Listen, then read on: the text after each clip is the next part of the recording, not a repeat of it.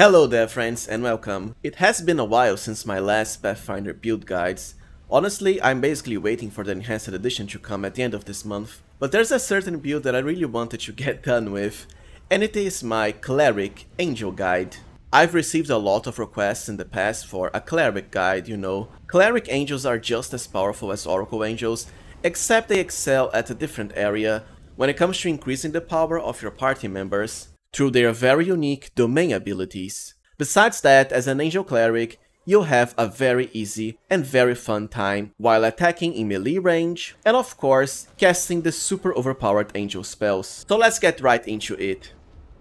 Alright, so first let us get into Cleric and of course the best archetypes. But before that, I actually want to cover why pick Cleric Angel instead of Angel Oracle, which I've covered before in my previous Angel guide. So clerics have basically two main advantages over Oracle. The first is domains. You can get many domains in Wrath of the Righteous, and some of them such as Animal, Community, Madness, and Nobility have abilities that highly enhance the power of all of your party members that you cannot really find anywhere else. With domains, you can for example increase the attack bonus of your whole party by more than 20 whole points. Second, clerics actually now have faster spellcasting progression for their normal divine spells when merged with angel than oracle. That's right, merged spontaneous casters only get an increase in spellcasting when it comes to the mythic spells, no longer their normal spells. Meanwhile, prepared casters like cleric get the increased spellcasting speed to both normal spells and mythic spells. So with that out of the way, let's now focus into each cleric archetype.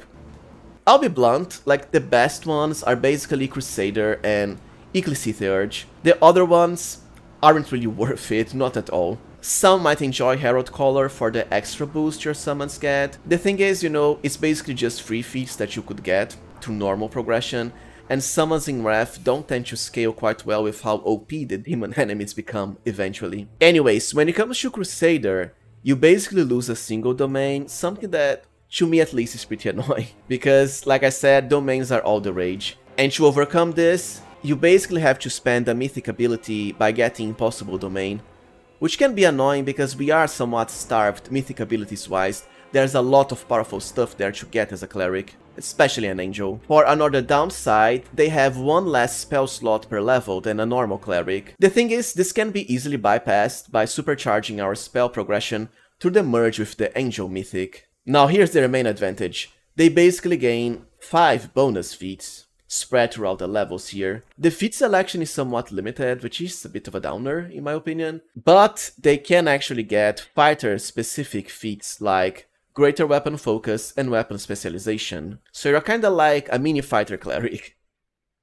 For the other great archetype we have Ecclesitheurge, which is actually Tristian's archetype from Pathfinder Kingmaker. The downside is you cannot use light or medium armor, can still wear robes though. You still have the same two domains as a normal cleric, but on the other hand you gain the Bonded Holy Symbol property to restore an extra spell per day, which can help you know when it comes to the powerful angel spells you are getting later on. The Blessing of the Faithful buff, something that can become quite powerful because of the plus 2 sacred to basically everything that matters, besides damage especially now that Guarded Hearth is no longer a sacred bonus. And their most important ability is probably Domain Mastery. So by default, each domain a cleric has will grant them new spells for every single spell level. However, normally you only have a single domain slot per level, so for example, Air gives Shocking Grasp as a level 1 domain spell. Even though we eventually have 4 slots for level 1, much higher with Angel like 10 plus, we would only be able to slot a single one of these with Shocking Grasp, our domain spell. Ecclesitheurges, however, can choose one of their domains and then prepare any slot they have with a domain spell. I'll be blunt, this doesn't really matter that much in the long run because you know, the mythic spells are the ones that really matter and the ones that will be spamming the most. But hey, it's a bonus, and like I said, it's not like Ecclesitheurge has any really important downside, because as far as armor, you can just use a reach weapon to attack safely behind your tanks, or mount your pet, which we'll soon get anyways. So overall, the choices between Crusader and Ecclesitheurge. I actually prefer Ecclesitheurge because of the extra domain. I really don't want to bother having to waste a mythic ability for something that I could already have at level 1 through normal progression. So Ecclesitheurge is the build I'll be picking. Now, if there's, you know, requests for a Crusader build, then I'll definitely post one in the future as well. For race, I strongly recommend you pick human, as always, but in the case of cleric, it's even more important because, well, clerics are somewhat starved for feats, especially early game, so the extra feat you get as a human will really matter a lot. For background, you have two choices.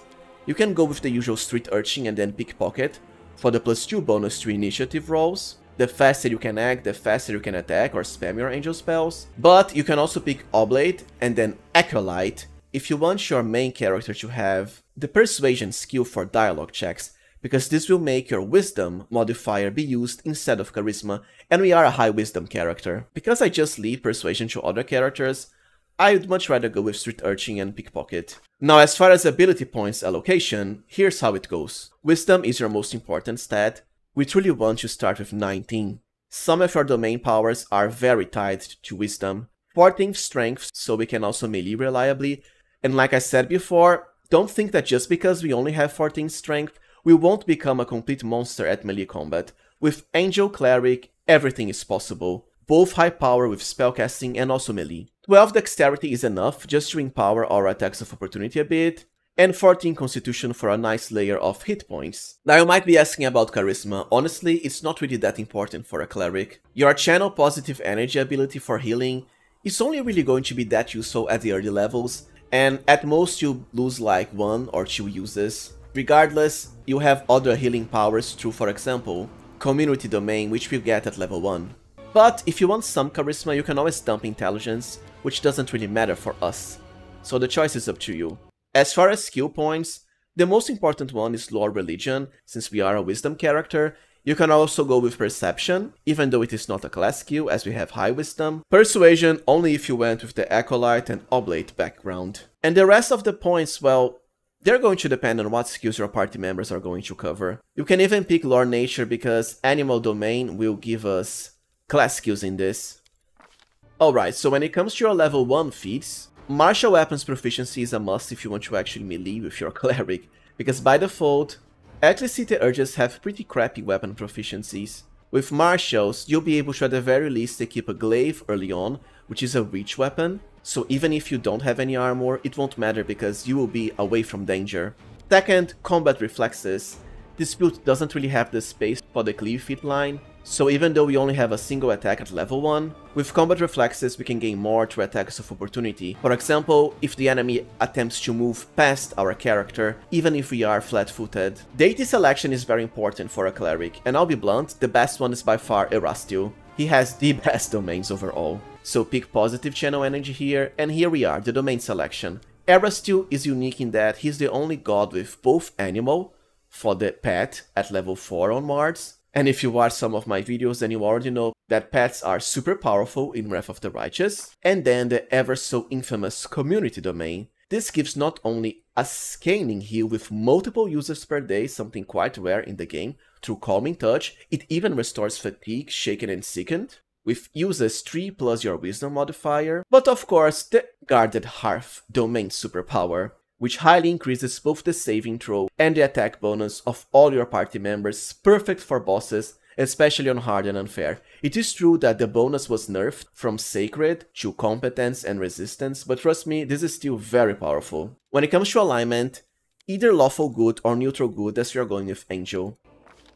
For level 3, this is when I would pick weapon focus, and you actually have three different weapon choices, Falchion, Scimitar, or Rapier, these three weapons all have the same OP critical range of 15 to 20 when considered improved critical. Overall, I think Scimitar is the best because you do find quite a lot of powerful Scimitars, and you can two-hand Scimitars for a boost to damage, even if they are by default one-handed weapons. Remember that I already have a guide with the best ones you can check here. Now, just be aware that early on, I prefer to equip glaives for the reach property, so we can attack behind our allies, this matters because, well, we are a low armor class character early on. The only reason I'm picking weapon of focus so early in another weapon is that we are somewhat tight when it comes to cleric feat selection, and I do have to get this now. for the synergy with Dazzling Display and Shatter Defenses later on. At level 4, increase Wisdom, which is also what you're going to increase on every other possible level. At level 4 we also get our pet. Now, a lot of pets were recently buffed in the latest Wrath of the Righteous patch. I'm just waiting for the Enhanced Edition to hit to really release an updated pet guide, but basically, the pets that have gore, such as the Triceratops and the boar, are now pretty much at the same tier as the ever so famous dog and wolf pets because their gore will also auto-trip the enemy, so it's basically a trip for free. Honestly, I'll keep to the dog. Trust me when I say he'll really earn the title of man's best friend through the whole game. For level 5, the feat is a given Boon Companion. Your pet gained to Animal Domain doesn't scale fully to your level without this, and we want our pet to be as OP as possible. For level 7, the choice is also simple, Outflank. This is probably one of the best feats in the entire game, and you absolutely want your entire melee characters, pets included, to have this. Also a reason we are going with a high critical range weapon for more free attacks. Level 9 is when I would pick Dazzling Display, if only so we can soon get Shatter defenses. Very easy to proc with Angel Cleric. For level 11, the choice is pretty simple to improve at critical, and then the weapon you chose, in my case scimitars. Now our scimitars have 50 to 20 critical, quite high. For level 13, Shatter defenses so our melee attacks can hit the enemy with their flat-footed AC, which tends to be way lower than their normal armor class. Remember, as a merged Angel Cleric, we learn spells so fast that even at this point, we already have the super powerful level 8 buff Frightful Aspect, which automatically shakens enemies around us as an aura, even without a save or spell resistance. Hell, at this point we even have level 9 spells already. For level 15, starting from now, your feats are kinda up to you, in that, well, we already have our core main feats, Power attack is certainly a great choice if you want to melee, and at this point we have more than enough attack bonus boosts to make up for the penalty to hit. The same for level 17 plus, you are somewhat free when it comes to what you want. I suggest getting Metamagic and Heightened Spell, just for more spellbook flexibility, and this can result in more castings of buffs too, even if you don't want to use offensive spells. Trust me, there are a lot of very useful angel spells that you want. But you can also pick something like Improved Initiative, for level 19, well, you can go with another Metamagic feat if you prefer. Although we do have quite a lot of Metamagic rods that compensate for basically everything but Heighten. I'll actually pick Improved Initiative here. The enemies at this point have way higher initiative than normal, especially the Demon Lords. As for level 20, your last point in Wisdom, of course. Alright, so now let us talk Mythic progression for our Angel Cleric, Ecclesitheurge. When it comes to your first ascension, there's basically two choices. Close to the Abyss if you want a more powerful melee angel. I know it's somewhat weird to pick the demon ability as an angel first ascension, but basically it gives you an extra attack per round as a gore. Even though this comes at a penalty, with all of the angel buffs, you can make this into quite a powerful extra free attack per round. Otherwise, if you want to support your party members, go with Instrument of Freedom, the Azata Ascension, to grant holy damage to their attacks. Now for your first mythic ability, like any merged caster, it's really hard not to make a case for abundant casting. Plus 4 spell slots can make quite a difference. And remember, even if you aren't a spell casting angel, like you don't want to use the offensive spells, as a cleric you still have extremely powerful buffs for your whole party. And the more slots you have, the more party members you can properly buff. For Mythic level 2, extra Mythic ability and improved abundant casting, by this level you can already cast level 4 cleric spells and trust me, a lot of the powerful divine buffs are level 4 like freedom of movement and death ward which don't have mass party-wide versions. For mythic level 3 I would already pick greater abundant casting because at this point your cleric angel already has level 7 spells, just at cleric level 10 by the way. And level 7 has one of the most overpowered angel buffs ever that increases the damage of all party members by a massive amount. Of course you want to pick the Mythic Spellbook Cleric merge here. As for Mythic level 4, extra Mythic ability, Impossible Domain, and Nobility. So Nobility gives the Inspiring Command power at level 8, which increases the attack rolls, armor class, and skill checks of all your party members, this is a party-wide buff, by plus 2 Insight. Insight bonuses are super rare, so this is a must. As for your first Sword of Heaven ability, Well, for this guide, I'll keep it simpler because remember, I already have a full Angel guide explaining in depth their Sword of Heaven and Halo abilities that you can check linked to the side here or in the video description.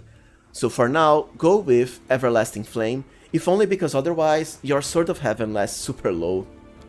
For Mythic level 5, another impossible domain. This time the Madness domain. So Madness gives you the Vision of Madness power. It's basically one of the most overpowered buffs in the game that's quite versatile as well, because it works not only for buffing your allies but also debuffing the enemy even, without any resistance. So you can buff the attack rolls, saving throws or skill checks of any ally by half your cleric class level, so a maximum of plus 10, and at this point in the game we already have a hefty amount. On the other hand, you can also use it on the enemy to debuff their attack rolls or saving throws by the same amount, and trust me, reducing the enemy's like saving throws by minus 10 is pretty much like changing the difficulty from unfair to core when it comes to instantly killing even the demon lords through death spells for your improved angelic halo power piercing rays. For mythic level 6, yet another mythic ability, this is why I said before, we are somewhat starved when it comes to mythic abilities. And then Domain Zealot. This lets us cast our domain powers as swift actions so they are instantly cast, which does matter when it comes to some powers with low duration, like Visions of Madness, or that take a long time to cast like Guarded Hearth. For another Sword of Heaven, Abolish Guile, for Mythic level 7, it is only at this point that we finally have some breathing round when it comes to Mythic abilities. But even then we still have some useful ones. If you want more melee power, go with Ever Ready. Last Stand, well, it's really hard to die as an Angel Cleric or Angel Oracle, so I don't think it's that needed. Enduring spells can also help a lot, by making our buffs into 24 hours, but I think at this point it's not going to matter that much. The angel buffs tend to be pretty long lasting, and we do have very high caster level to increase their duration anyways. But remember, there are some powerful 1 round level buffs that you can only turn into 24 hours if you pick Enduring and Greater Enduring, like Eagle Soul, Sun Form, and the special Angel Prayer spell, so you know the choice will be up to you. Because I already went with the Enduring spells as my Angel Oracle, I'll go for more melee power now, and pick Ever Ready. For another Angelic Halo power, Solar Winds, this is pretty much the only ability in the whole game that gives resistance to unholy, holy and divine damage. For Mythic level 8, this is when I would get improved Mythic Critical and Scimitar. I know it's kinda late, but the other powers are really useful too. I suppose you could pick this early if you prefer, instead of another domain power. It's just that overall this is just for your character while the domain powers boost your whole party. The same for the abundant casting line. For another Sword of Heaven, Speed of Light no doubt because of the extra 2 additional attacks. And the Quicken spell for free for level 7 and lower spells. For Mythic level 8, I like Mythical Beast because well, our pet is super powerful. But there's nothing stopping you from picking this before too. It's just that I find it really hard to justify losing one of these slots. Your other Halo ability isn't really that useful. I would go with Flame of Life. Now for Mythic rank 10, Mythic Power Attack if you want to truly maximize your melee damage. But well, at this point, like you already have super powerful damage anyways. And you can even pick another Mythic ability and like Elemental Barrage or Mythic Charge. For the last Greatest Sword of Heaven, Overwhelming Flames can be quite powerful for a more melee-focused Angel Cleric. Alright, so with building out of the way, let's now talk about the best gear for our Ecclesitheurge Cleric Angel. When it comes to Amulet, Velexa's Magnifying Amulet is pretty much always the best for any player character. For the armor slot, Ecclesitheurges really can't wear any armor at all, not even Haramaki's, otherwise you'll be blocked from casting spells. So well, that's a pass. As far as the robes, the robe of Unspeakable Truth can be quite powerful when combined with the Glasses of Undeniable Truth, because this will grant you a plus 2 competence bonus to wisdom, extremely rare, and even to intelligence as well, which, you know, for this build doesn't really matter. But, if you want to increase your caster level for even higher Bolt and Storm of Justice damage, and higher spell duration, go with the Robe of the Seven Sins. For the belt slot, usually belts that increase both your strength and constitution. As far as gloves, Arilus embroidered gloves are basically the best overall, due to the rare plus 3 luck bonus to a lot of stuff, but you can also go with something like the Oppressor's Gloves, the Dashing Cavalier's Gloves early game if you want to mount your pet, and the Gloves of Phlebotomy for a bleed effect on critical hits. As far as boots, Ronag's Sacrifice, as always, the best by far in the entire game. The bonus to dexterity alone is huge, but the stacking haste bonuses also amazing. For the head slot, at the early game had bands of wisdom of course, but later on had bands of mental perfection, the ultimate one being darkness caress. When it comes to glasses, if you're going with the robe of unspeakable truth, then of course you want the glasses of undeniable truth to actually gain the increase to wisdom and intelligence. Otherwise, if you want to tank, which I wouldn't really recommend, the broken trickster glasses. As far as cloaks, the cloaks of resistance with the highest enchantment value or the special angel mythic cloak, which actually increases the power of your spells by 4 dice of damage. So if you want truly maximum Storm and Bolt of Justice damage, go with this. As far as rings, the Ring of Evasion is very helpful overall when it comes to completely avoiding. Reflects damage effects that allow a save for half, with this you just avoid all the damage, and we end up with high reflex eventually. The Ring of the Guiding Star remains useful as well, for the plus 4 bonus to initiative. Now let's talk all about weapons, so for this build I went with scimitars, but remember, you can also go with falchions or rapiers. When it comes to scimitars, the Faith Bearer is my favorite overall. It has Holy and whenever you confirm a critical hit, pretty easy since we have 15 to 20 range, you make a Lore Religion check of DC 40 and on a success, all allies nearby are healed for a number of ranks you have in Lore Religion, so our characters will always be healed by around 20 hit points whenever we make a critical hit. There's plenty of other nice scimitars though, which I have already covered in my best scimitars guide. Unfortunately, Ecclesitheurges cannot really wear any shields. So thanks to no armor and no shield, we could actually get a lot more armor class, I just don't find it needed because well we can ride our pet, who has 79 armor class, a lot higher than we could possibly get. Now for the quick slots, so Greater Quicken Meta Magic Rod, always a must for mass heals and quicken Storms of Justice. You can also use the Old Grimoire for more spell slots of lower levels. And of course the Grandmaster's Rod to truly put our Storm of Justice damage to the max but you can also go with other rods like, I mean, the latest DLC added a lot. So we have like Greater Persistent Meta Magic Rod, Greater Maximize Meta Magic Rod, just to truly increase your damage. Well, alright everyone, so this was it for my Angel Cleric guide. I hope I've managed to properly show you how powerful Angel Cleric can be when it comes to Angel Oracle and overall supporting your party members to the max. Domain powers really make that much of a difference if you found this guide useful, please remember to like, subscribe and even consider becoming a channel member for some nice support if you can. Thank you for watching and see you next time friends.